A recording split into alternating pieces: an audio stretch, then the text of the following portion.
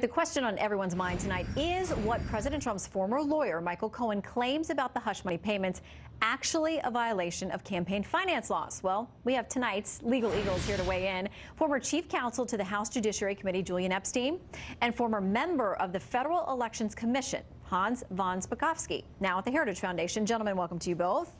Thanks for having us.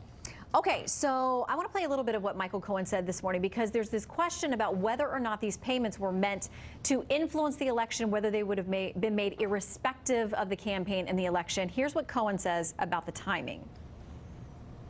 You have to remember at what point in time that this matter came about, two weeks or so before the election, post the Billy Bush comments. So, yes, he was very concerned about how this would affect the election. Okay, Hans, how does that factor into your analysis of this?